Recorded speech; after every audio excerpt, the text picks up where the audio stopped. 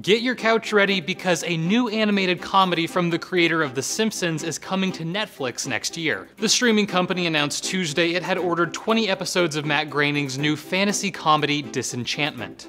The show will star Abbi Jacobson of Broad City fame and comedians Eric Andre and Nat Faxon, as well as Futurama alumni John DiMaggio and Billy West. Disenchantment will be joining a heavy-hitting roster of adult animated comedies like BoJack Horseman and Rick and Morty. The former has been lauded as one of the best shows of 2016, while the latter surprise season 3 premiere garnered more than 1.5 million viewers. Critics say these shows have changed what adult animation could be, exploring dark themes with a sense of cynical realism and going beyond traditional slapstick or gross out humor.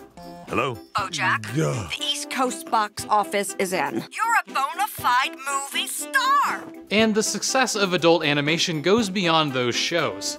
Back in March, the Nielsen Company reported Rick and Morty Network Adult Swim was the most watched late night programming on cable television, beating out both The Daily Show and Conan by more than 300,000 viewers. With those numbers in mind, it's no surprise Netflix is investing in more animated adult comedies.